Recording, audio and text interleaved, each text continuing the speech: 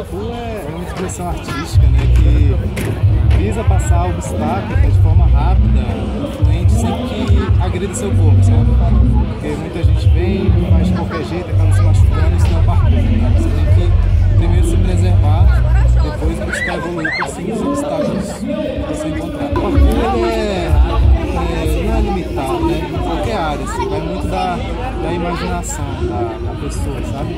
Porque já que uma prática né, que visa os métodos naturais, então você fazer vários locais. Você pode treinar corrida, você pode treinar natação, você pode fazer parque, você pode fazer prédios, essas coisas. Na natureza, local você vai você analisar realmente a técnica que você quer fazer e fortalecer o, a parte física, né?